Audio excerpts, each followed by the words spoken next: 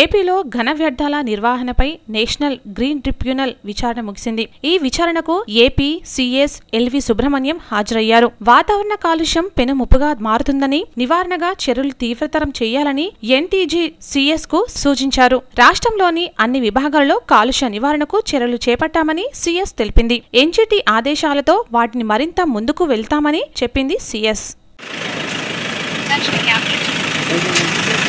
మీరేం అడగండి ఆయన చెప్పండి ప్రజెంట్ సార్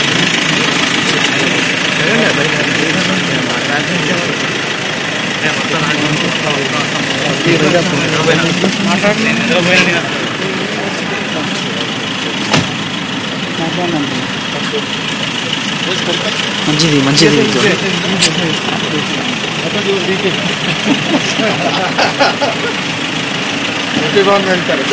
మంచిది